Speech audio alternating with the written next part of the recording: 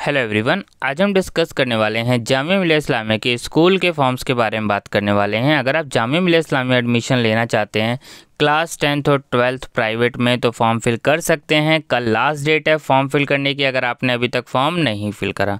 अगर आप जो है फिफ्टीन नवंबर यानी कल के बाद फॉर्म फिल करेंगे तो आपको लेट फ़ीस के साथ फिल करना पड़ेगा। फाइव हंड्रेड रुपीज़ आपको एक्स्ट्रा पे करने पड़ेंगे और लेट फ़ीस के साथ आप तीस नवंबर तक फॉर्म फिल कर सकते हैं, ठीक है? आपको कोई भी अपडेट चाहिए होगा, सारा अपडेट आपको वीडियो बना के बता दिया जाएगा।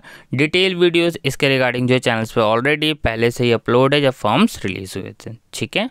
Thank you